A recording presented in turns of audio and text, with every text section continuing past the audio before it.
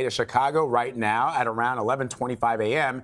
He is set to address an audience of police and then attend a fundraiser at one of his hotels. He is very likely to mention the death over the weekend of ISIS's leader in a U.S. raid. When that happens, we'll have it for you live. President Trump says al Baghdadi blew himself up as U.S. forces surrounded him after a five year manhunt. This comes after the U.S. abruptly pulled out of the region, potentially helping an ISIS resurgence.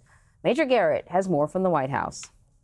He didn't die a hero, he died a coward crying, whimpering, screaming. And President Trump described the final moments of ISIS leader Abu Bakr al Baghdadi as a contrast in terrorist bravado and American resolve. Amateur video allegedly shows the raid. The thug who tried so hard to intimidate others spent his last moments in utter fear, in total panic and dread terrified of the American forces bearing down on him. Mr. Trump said fresh intelligence on Baghdadi's likely location and where he might move set the mission in motion three days ago. U.S. forces took off from a military base in Erbil, Iraq, flying eight helicopters low and fast for the roughly one hour and 10 minute trip to the location. Once there, forces blasted a hole through the side of the compound, catching those inside by surprise. Baghdadi fled to an underground tunnel. He ignited his vest, killing himself and the three children. His body was mutilated by the blast. A test of Baghdadi's scattered remains, Mr. Trump said, confirmed the identity. The president credited cooperation from Russia, Turkey, Iraq, and Syria. Russia treated us great. They opened up. We had to fly over certain Russia areas. The Syrian Kurds, who have seen the U.S. withdraw from the country as a betrayal, also played a role. They gave us some information that turned out to be helpful. While some Republican lawmakers were notified Sunday morning about the raid, other congressional leaders, including Senate Minority Leader Chuck Schumer, found out when the rest of the world did. It's great that we've gotten al Baghdadi and killed him. He's a dangerous man, an evil man. The fight against ISIS has to continue. All right, so Major Garrett is joining us now from the White House. So, Major, how significant is Baghdadi's death? How significant is it for the president to be able to make that announcement? A significant victory for the president and for the United States, as recognized by almost everyone in Congress, the intelligence community, and those who are deeply involved, either professionally or analytically, in counterterrorism operations. This was a big get one of the biggest priorities of this administration and of the U.S. government writ large over two administrations, the Obama and Trump administration. So, in that sense, it is significant.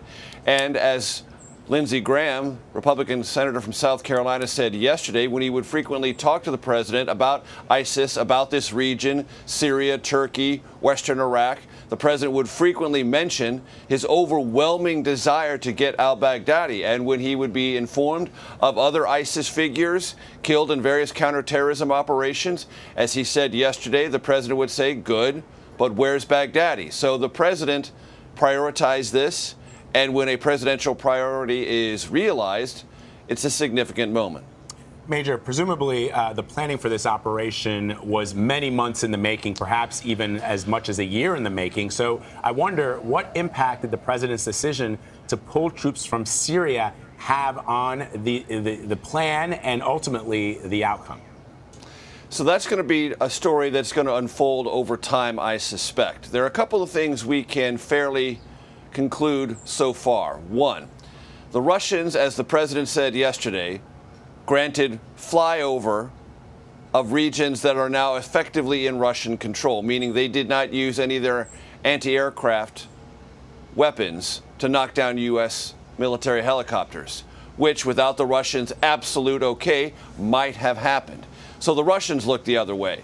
It's quite possible that the Turks, who have moved into this safe zone or around this general area or operating there, in the neighborhood more freely than they have because of the president's recent decision to greenlight their mission into northern Syria also looked the other way. It's possible we may learn over time that not only the Kurds, who the president said provided some significant information, the Russians and the Turks may have had some general awareness of Baghdadi's location and where he might move if under stress. I talked to several Republican and Democratic lawmakers yesterday who said things seem to have been loosened up in this region, at least in terms of al Baghdadi, meaning folks who have been operating in the area, the Russians, the Turks, the Syrians perhaps, either provided information or were sufficiently satisfied by the change in the geography of the area, meaning who's in control, the U.S. moving out, the Kurds being under stress, that they felt maybe giving up Baghdadi was useful for them or a sufficient trade off to the United States for other things they've recently gained.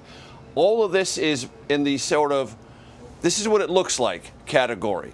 Over time, I suspect we will learn much more about who knew what, who provided what to whom, in this case, the United States and the Delta Force commandos, to put this operation successfully in motion. Because, as you noted, it's been a presidential priority for a long time, it's been in development for months, and yet, right after the shakeup in northern Syria, it happens. Seems a little bit more than coincidence. Major, you know, I don't think the public the public has not um, heard um, a number of announcements of this nature, like the one that we heard on Sunday. Um, but certainly, there were analysts and lawmakers that found the level of detail that the president um, provided concerning. But I'm I'm going to ask you, how uncommon, or is it uncommon, to have a press conference like that where so much information was revealed when he was questioned? Well, I remember after the uh, successful effort to target and kill Osama bin Laden was conducted, President Obama gave an address to the country that Sunday night. Then there was a briefing the next day by John Brennan, then the CIA director, in the briefing room. There was a good amount of detail in that briefing. And some of that detail had to be amended several days later because the CIA, the intelligence community, was still trying to grapple with all the various facts and the sort of tick-tock of how the operation went down. So eh, there is an imperative to get facts out. It is unusual for the president to be the conveyor of all those facts in the immediate aftermath of an operation. And I will tell you this there is something about the president's approach to intelligence matters and military operations. He has a tremendous fascination, an almost gleeful curiosity about fine details. And when it's successful, and there's someone who is, by any rational stretch of the imagination, a barbaric figure. Abu al Bakr al Baghdadi is a barbaric figure. The things he committed, the crimes, the atrocities he committed, and in his name, in the name of ISIS, are, by any stretch of the imagination, acts of barbarism. When someone like that is killed by American forces, this president in particular is not only going to be triumphal in his declaration, but very specific in how it happened. And you could see the president taking tremendous glee, not only in the operational details, but in the way he adjectively described Baghdadi's demise. Whimpering, crying, running, a coward, all of this contrast, saying you think you're a tough guy, but in the end, when faced with American and military forces, you're not. You're a coward, you're a dog, etc., etc. That's this president's approach to not only the rhetoric of the president, the operational details of military actions, but his own sense of self within the presidency. Everyone has been getting used to it. This is just another phase of that getting used to it process. Major, as you know, uh, some top Democrats like uh, Nancy Pelosi have slammed President Trump for failing to inform them about the raid. She's now demanding a full briefing uh, from the president. Uh, the question is similar to what Anne Marie asked about the unusual nature of some of the things Mr. Trump said over the weekend. Um, is it unusual to not inform uh, the Gang of Eight uh, when you're carrying out a sensitive military operation like this, or is it just case by case? Very unusual. I don't know of any other instance where a significant U.S. military operation was undertaken and there wasn't at least some level of consultation from the members of the so called Gang of Eight. It's not a gang, it's just the eight most senior members of Congress entrusted with secrets like this. I've never known them to leak in the past. This is a way to notify Congress, the executive branch, essentially respecting the institutional prerogatives of Congress, because remember, Congress funds all activities of the United States government. That includes the U.S. military and is a co equal branch of government. So, historically, the executive branch, under Republicans and Democrats, has informed in a bipartisan way the senior congressional leadership. That didn't happen this time. The president intimated yesterday that the reason he didn't do that is because he was certain it would leak.